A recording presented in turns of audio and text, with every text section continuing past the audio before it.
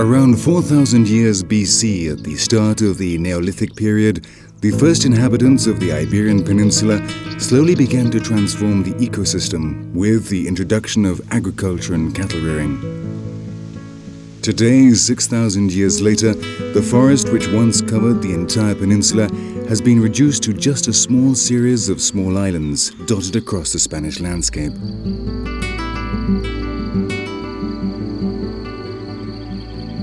In 1979, the Spanish government, worried by the disappearance of this important natural habitat, declared one of these islands a national park. The choice was not random. Covering an area of almost 18,000 hectares and containing two-thirds of all protected species in the Iberian Peninsula, the Monfragüe National Park is today one of the world's last remaining paradises of the Mediterranean fauna and flora, a unique enclave where man seems to have achieved the difficult balance between exploitation and conservation of nature.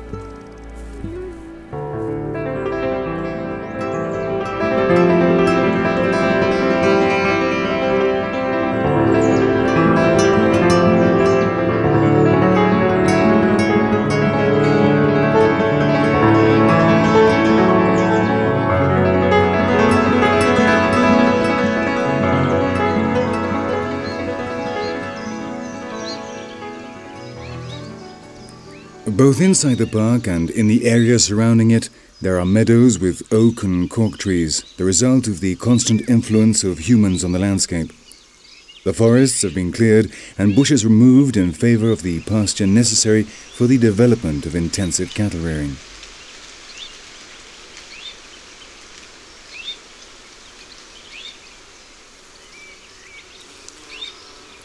Along the steepest slopes, plant life has remained unchanged and shrubs cover the forest floor.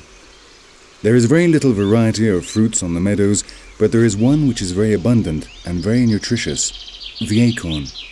The seed, produced by the oaks and the cork trees and greatly appreciated by the wild boar and domesticated pigs, is also the favorite food of one of the most common birds in Monfragüe, the wood pigeon.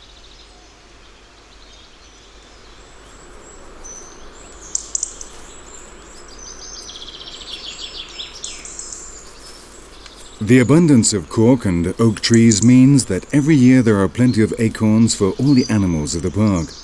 However, coming down to the ground to gather them can be a very dangerous business. While the wood pigeons are busy filling their stomachs, a stealthy enemy lurks nearby, watching.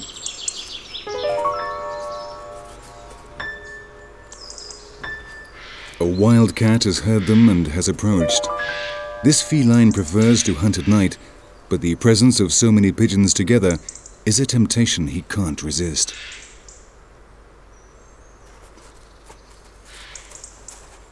Hunting during the day is much more difficult. The birds are wide awake and visibility is much better, which means the wood pigeon can spot the danger and fly off.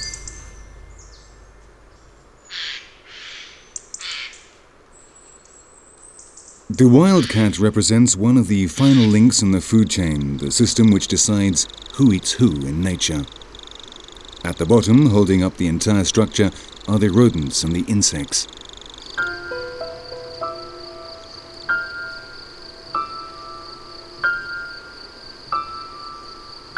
Just above them come the reptiles like this ocellated lizard, the largest lizard in the Iberian Peninsula.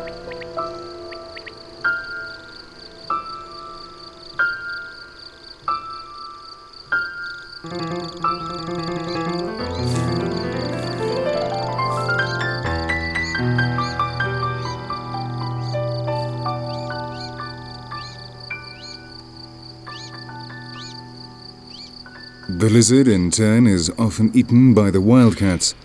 All the links in the food chain are dependent on each of the others, and any change in one link will affect all the rest.